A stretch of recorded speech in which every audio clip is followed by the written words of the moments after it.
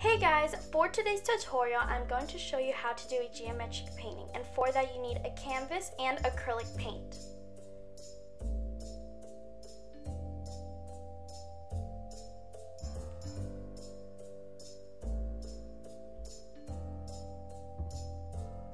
Also, you will need scissors, masking tape,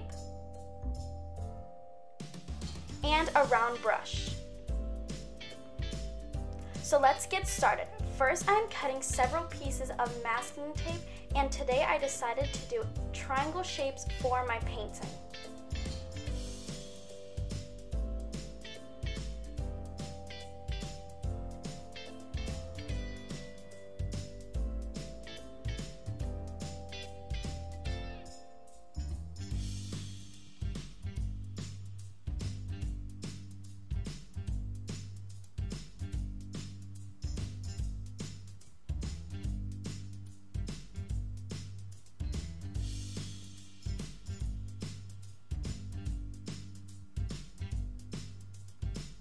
Now that the taping is done, I am mix matching the colors.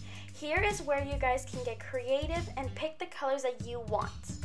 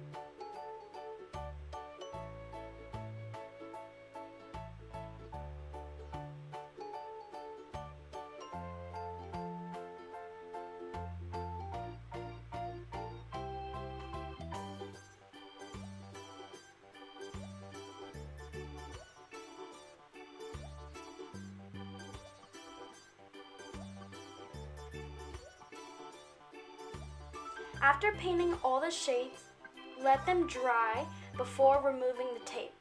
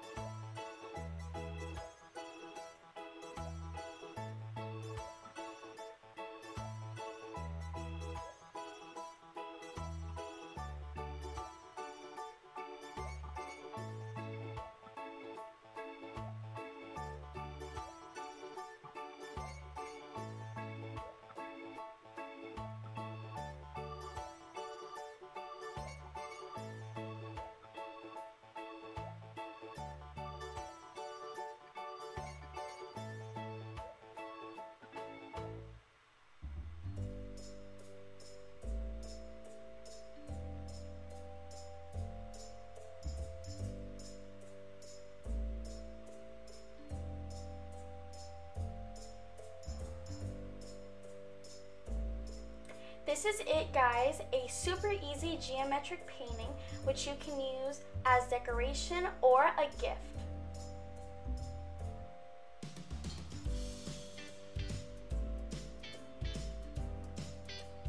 If you like, subscribe, and see you on my next video. Bye!